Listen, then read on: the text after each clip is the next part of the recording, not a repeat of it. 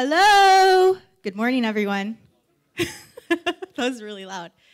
All right, guys. So, this is a class about speaking to the media. So, I hope you guys are okay with that. If not, you can leave. so, I want everyone right now to stand up for me, please. Stand up. Okay, I have a couple of questions for you guys. I want you to yell yes or no to this question right now. Um, who is part of a startup here? Yell yes or no on the count of three. One, two, three, go. Again, louder because I can't hear you guys. One, two, three, go. All right. Who in here has done an interview before? Yell yes or no. One, two, three, go.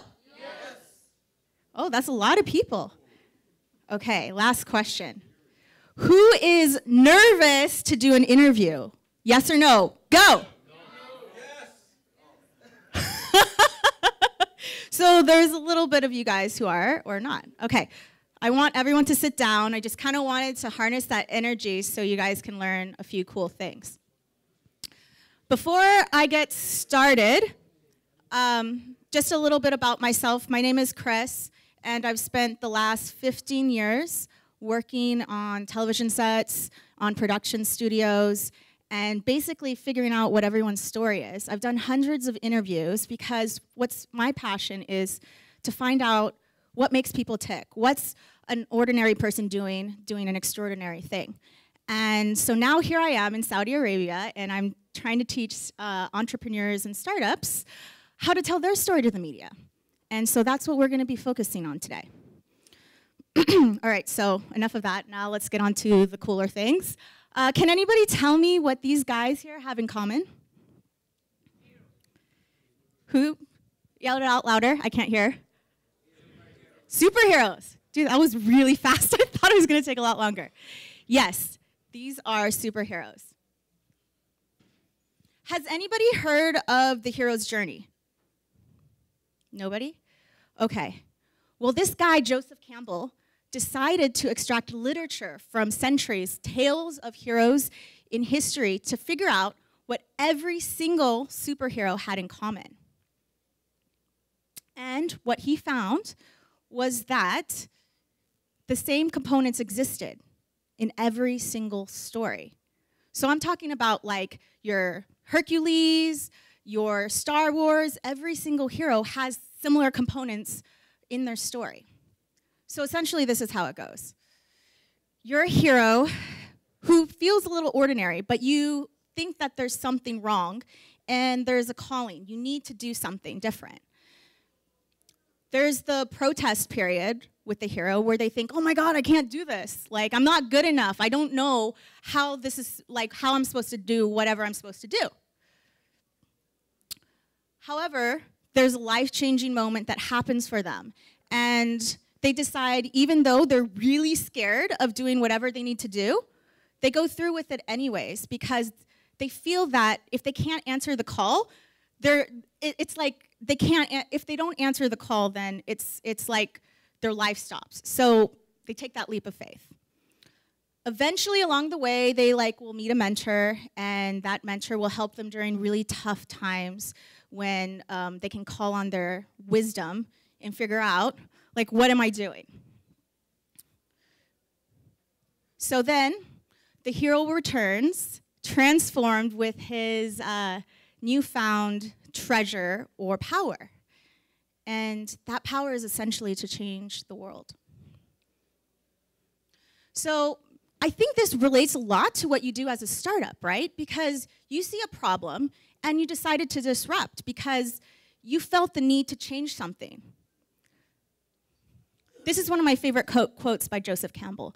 The cave you fear to enter holds the treasure you seek. And I think it has a lot to do with going in and telling your story to the media because it's really scary. And if you don't do it right, sometimes you feel like you can look bad on camera or to a journalist. So, this is what I'm going to hopefully help you guys with today. I want to equip you with this fire breathing dragon, per se, which is the tools you need in order to succeed when you're talking with the media. There are three things that I'm going to teach you. Super simple. Three things that you need to know if you are going to be speaking with the media. Now, like I said, if there's any journalists or media or reporters in here, um, this is based on my experience. So hopefully, nobody takes too much offense to what I'm about to say. Um, first, I'm going to talk about your story. Then we're going to go into your manners, kind of things that you guys might not be aware of that you're doing on camera, and how to also answer tough questions, as well as give your best version of yourself on camera. Okay, so before we go in to the part of how to tell your story, I want to get into a little bit of the backstory, which is inside the minds of reporters. So I like to say, me personally, as a news reporter and a producer, um, it's kind of like getting the attention of like a really excited puppy. um, a lot of journalists have a very short attention span. And a lot of this has to do with the fact that you're always thinking in the back of your head your word count for a story, the deadline you're about to face, um, the amount of time to the very second that your story is going to be. So, this also can come across as impatient or very hasty when you're dealing with a reporter or journalist because you're thinking about the seven interviews you have to do that same day, the deadline that you're going to be meeting because you have to edit and write everything down and produce it and then send it off to your editor. The other important thing to know is that journalists and reporters are very observant. So, this is from my own personal experience. I feel that every person needs to be on point as soon as they meet or see a journalist. Act like you're always being recorded. Everything from like the socks you're wearing to your mannerisms to how you're dressed, people observe that.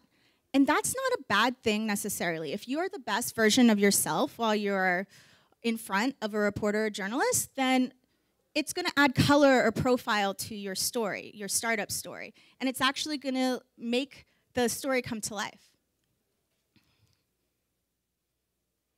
Okay, so now I'm going to get into these three things, like I said, that you need in order to succeed for the media.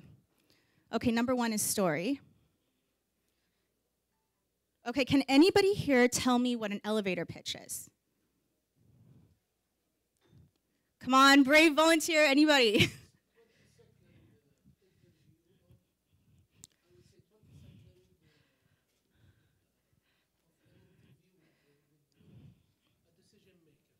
okay.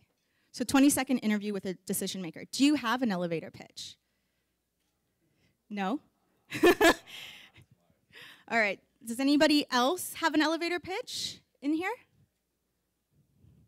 Yes, back here? Okay. No, 20 seconds. I mean, that's a good. Go ahead. What did? What were you about to say?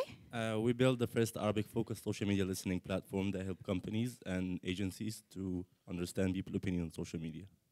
Okay. Are you happy That's with it. your elevator pitch? Yeah, so far it works. It works? Okay, great. So you feel like it's very useful to have something that's super short that you're able to talk about? Definitely. Okay. So I want to talk about the elevator pitch in front um, in terms of um, media. elevator pitch is supposed to be 30 seconds of telling your story to the media. And I kind of want to go through this right now as far as what you need to do in order to succeed. Does everyone have a pen and paper? Okay, so we're gonna do this exercise right now. I want you to answer one sentence for each question. So, one sentence for what do you do? What problem do you solve? How are you different? And the most important question is why should people care? So, I'm going to give you guys five minutes to do this right now, and I want you to write it down. All right?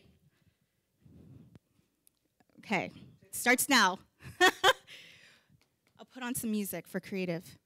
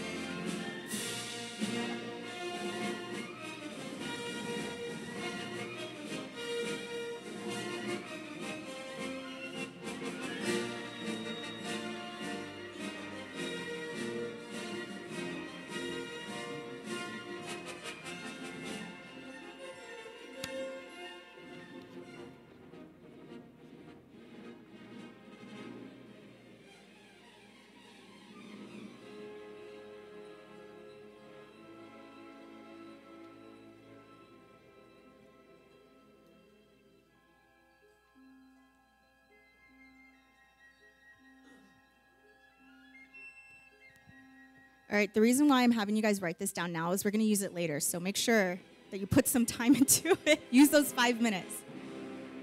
yeah.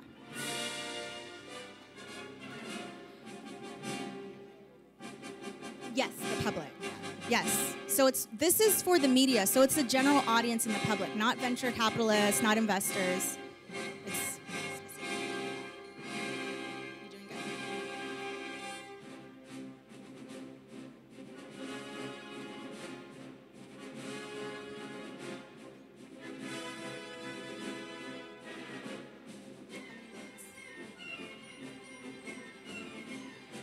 And a half minutes, guys.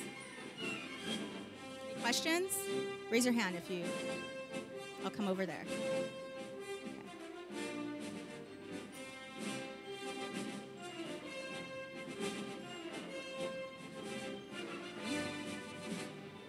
Okay. Okay.